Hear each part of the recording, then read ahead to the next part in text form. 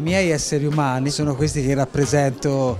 nelle opere, che hanno qualcosa di puro, diciamo, perché riguardano un po' quello che l'uomo sente, anche come, come, principi profondi, insomma non sono molto descrittivi, più, rivelano un po' più un pensiero. La difficoltà di far scomparire ed apparire i volti, insomma, è una, è una delle cose con cui mi misuro ogni volta. Io comunque vengo da una città che è Livorno dove insomma la tradizione dei macchiaioli, dei paesaggisti è, altissima, ma secondo me il miglior paesaggio è il volto dell'essere umano, non per niente poi studio i volti anche per l'attività di trasformista. Quindi è una cosa innata nella quale ho sempre creduto, non, non riuscirei a fare cose dove non ci fosse l'essere umano.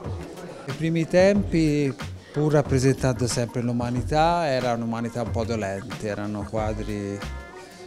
che contenevano qualcosa di più triste forse, cioè era un'umanità che soffriva o che voleva mh, quasi rassegnarsi ad essere trascinata nei, nei problemi diciamo, spirituali. Così. Ora c'è sempre la problematica dell'interrogarsi dell'essere umano, però c'è più forza e più voglia di capirci, c'è qualcosa che insomma crede un po' di più, forse anche nella soprannaturalità. Si tratta di un quartiere ex degradato di Miami che si chiama Wynwood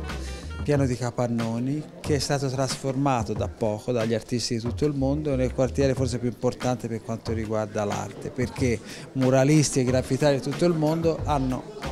coperto con le loro opere tutti questi capannoni. Sono stato chiamato a farne uno anch'io, è stato bellissimo perché è un muro di 18 metri, l'ho praticamente tutto improvvisato ed è venuto fuori un gigante che esce dalla, quasi dalla strada. È bello perché rimane nel tempo, è bello perché questo quartiere è importante, quindi per me è stato un onore, la prima volta che vado in America, insomma ci sono andato con una cosa bella.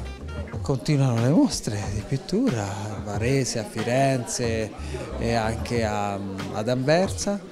eh, continua a strisciare la notizia e la cosa più importante è questo lavoro teatrale che debutta il 28 novembre a Livorno al Teatro Goldoni, poi sarà a Roma al Sala Umberto su Lucio Dalla che racconta tutta la mia vicenda di appassionato fan di Lucio Dalla che poi è diventato mio amico e è venuto addirittura a cantare gratuitamente alla mia mostra, quindi racconta un sogno realizzato, c'è un'orchestra, io piano piano divento Lucio Dalla e canto le migliori secondo me canzoni.